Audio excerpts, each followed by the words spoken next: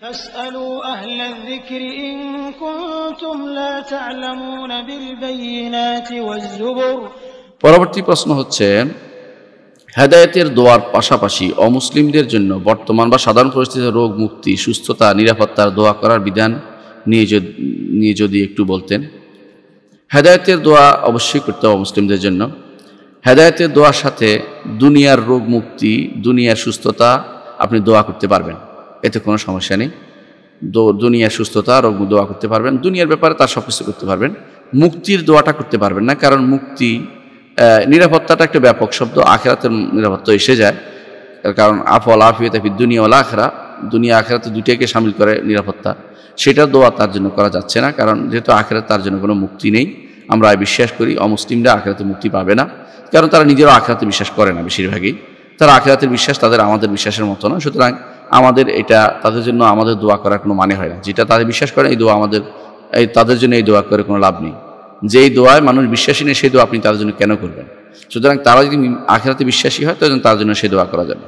দুনিয়ার মুক্তি ও তার দুনিয়ার সম্পদ, দুনিয়ার সুস্থতা, এটা দোয়া করতে পারবেন, কোনো সমস্যা নেই।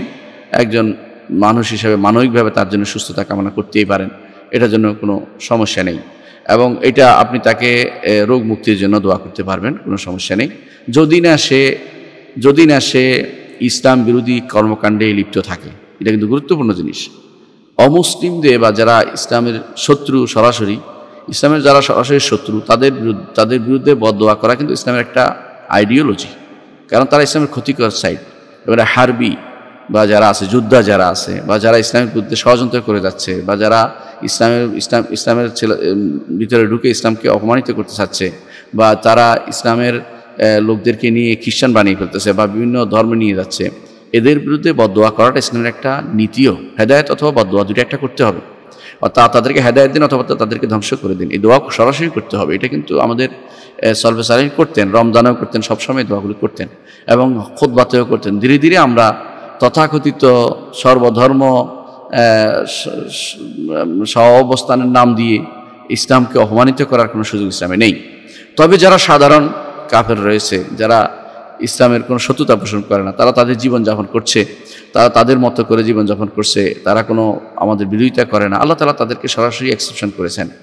লাইয়ানহা কুমুল্লারি লাইয়ানহা কুমু লাইয়ানহা কুমুল্লাহ আনিল্লাজিনা লামিউ কাতিলুকুম ফিদ্দিন আল্লাহ তালা বলছেন, যাদেরকে, যারা তোমাদের বিরুদ্ধে শত্রুতায় লিপ্ত নয়, তাদের সাথে সম্পর্ক রক্ষা করতে আল্লাহ তালা তোমাদেরকে নিষেধ করে না। সেই জন্য তাদের জন্য দোয়া করবেন, যারা আমাদের ইসলামের শত্রু নয়, আল্লাহ তালা তাদেরকে এই বিপদ থেকে, রোগ মুক্তি থেকে, করোনা থেকেও তাদেরকে আল্লাহ মুক্তি দেন সুস্থ দেন, এটা দোয়া করতে পারবেন, কোনো সমস্যা নেই।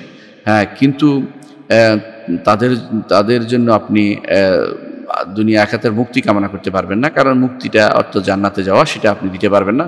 সেটা তাদের জন্য শুধু দোয়া করবেন, আল্লাহ তাদের জন্য হেদায়ত দেয়, এই দোয়া করতে পারবেন।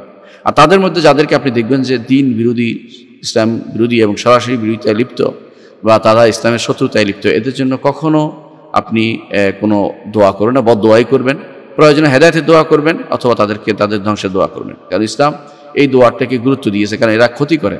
যারা ক্ষতিকর জিনিস ইসলাম কখনো তার মধ্যে থাকতে বা তার সাথে সম্পৃক্ত হতে অনুমতি দেয় না।